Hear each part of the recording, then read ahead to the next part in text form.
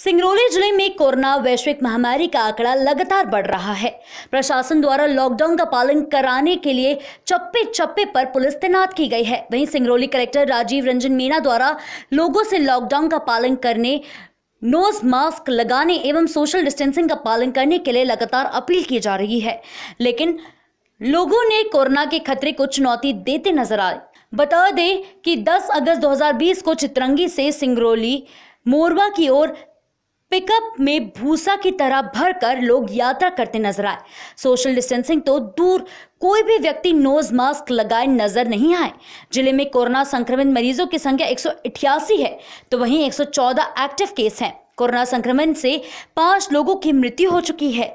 फिर भी लोग कोरोना वैश्विक महामारी को नजरअंदाज करते नज़र आ रहे हैं।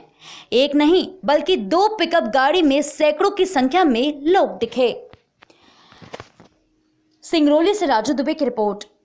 गैंगस्टर अपराधियों के खिलाफ चलाए गए अभियान के तहत आज जनपद सोनभद्र पुलिस ने थाना शक्तिनगर के एक गैंगस्टर अशोक पासवान की ढाई लाख की संपत्ति को कुर्क किया है।